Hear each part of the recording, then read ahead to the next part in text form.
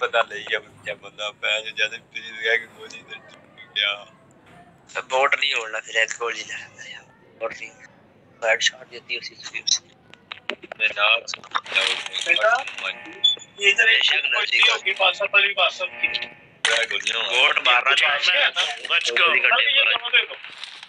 दोनों को करा दोनों को करा दो करो ये difficult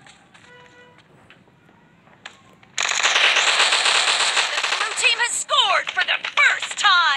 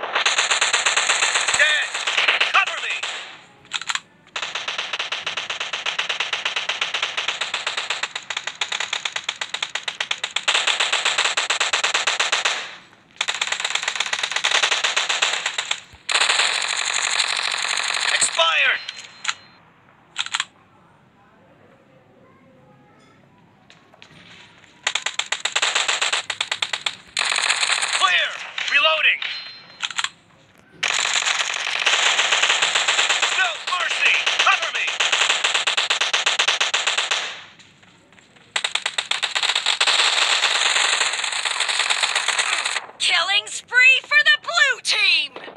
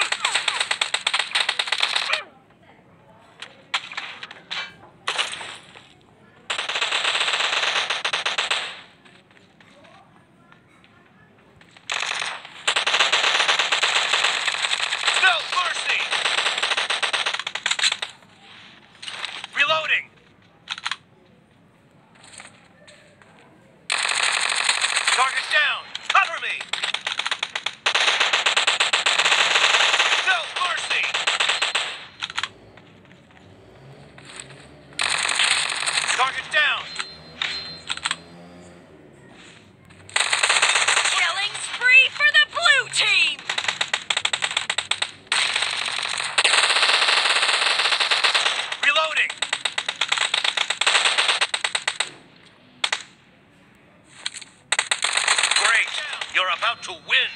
The blue team is about to win.